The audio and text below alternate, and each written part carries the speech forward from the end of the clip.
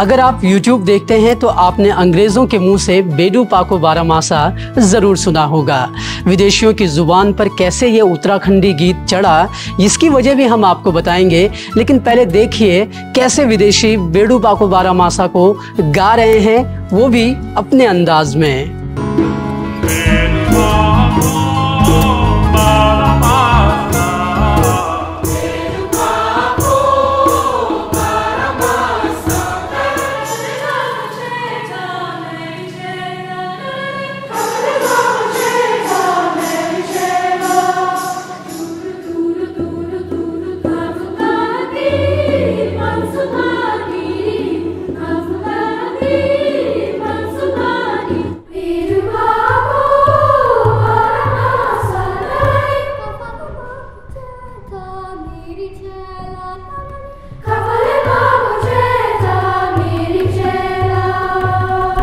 ऐसे ही न जाने कितने देशों के चर्चों में बेडू पाको बारामासा बचता है।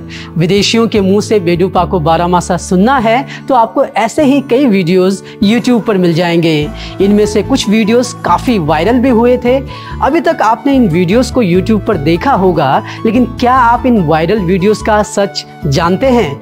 क्या आप जानते हैं कि उत्तराखंड का ये गीत अब कई देशों के चर्चों में विशेष समारोह में बजाया जाता है?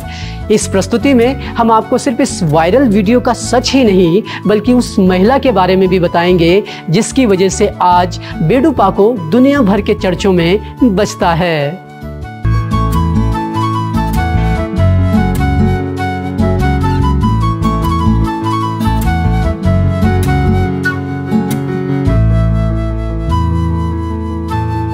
बेडू को बारामासा गीत जब पहली बार गाया गया तो इसकी पहचान एक कुमाऊनी गीत की थी, लेकिन बाद में ये उत्तराखंड की ही पहचान बन गया। देश के पहले प्रधानमंत्री पंडित जवाहरलाल नेहरू के पसंदीदा गीतों में ये शामिल रहा। 50 के दशक में रूस के मॉस्को रेडियो समेत कई समाजवादी देशों के रेडियो पर बेडू पाको बजा। बेडू पाको को कई गायकों ने कई ढंग से गाया है। क्लासिकल सिंगर जगजीत सिंह निषाद ने इसे अपने अंदाज में गाया। बेडू पाको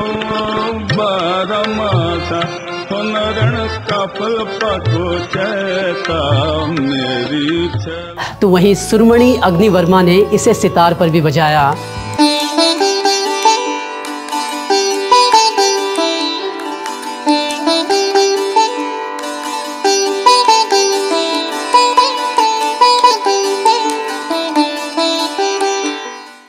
बॉलीवुड से लेकर हंसराज रघुवंशी तक कोई भी इस गीत के जादू से अछूता नहीं रह पाया है।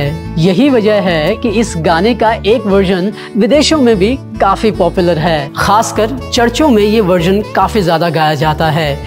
इस वर्जन को किसने बनाया? कैसे बेडूपा को इन देशों में पहुँचा? वो भी हम आपको बताएँगे। लेकिन पहले जान लें कि स्पेन, फ्रांस, अमेरिका, दक्षिण अफ्रीका समेत कई देशों के चर्चों में इस गीत को कोरस में गाया जाता है।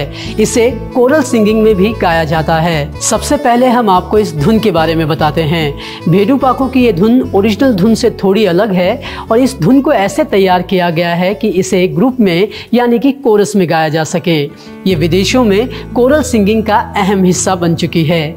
बेडू पाको की इस धुन को सबसे पहले पब्लिश किया गया था 2014 में। अमेरिका के नेशनल म्यूज़िक पब्लिशर्स ने इसे पब्लिश किया। तो अब सवाल उठता है कि इस धुन को किसने तैयार किया। तो धुन तैयार करने वाले के बारे में भी हम आपको बताएँगे।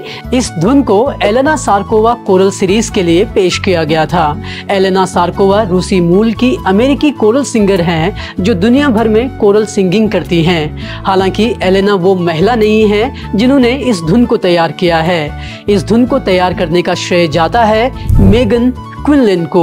कनाडा की मेगन क्विनलिन ऑक्सफोर्ड यूनिवर्सिटी में पहली महिला कोयर कंडक्टर रह चुकी हैं। मेगन कोरल सिंगिंग में गाए जाने वाली धुनों को तैयार करने के लिए जाने जाती हैं। जब आप इंटरनेट पर बेडूपा को कोरल धुन सर्च करते हैं तो लगभग सभी जगह आपको मेगन क्विनलिन की ही अरेंज की गई धुन सुनाई पड़ती है। हालाँकि, देश और जगह के हिसाब से इसमें कुछ छोटे मोटे बदलाव देखने को मिल जाते हैं। इस गाने का मतलब ये गाने वाले कितने समझ पाते हैं, ये बताना मुश्किल है, लेकिन कोरस में जब ये गीत गाया जाता है तो गाने वाले अपने डांस का इनपुट भी ज़रूर इसमें जोड़ देते हैं। दुनिया भर में आज बेडू पाको उत्तराखंड की पहचान बन चुका है। देशी हो या विदेशी, ये उत्तराखंड का एकमात्र ऐसा गीत है, जिसे कोई भी और कहीं भी गा सकता है। बेडू पाको गीत पर गर्व करिए और ज़रूर बताइए कि आपको हमारी ये प्रस्तुति कैसी लगी? आपकी तरफ़ से कोई सुझाव या शिकायत हो तो कमेंट बॉक्स में ज़रूर लिखें। हम कोशिश करेंगे कि आपके लिए बेहतर से बेहतर कंटेंट पेश कर सकें और आपके सुझावों को अपने कंटेंट में शामिल कर सकें। शुक्रिया।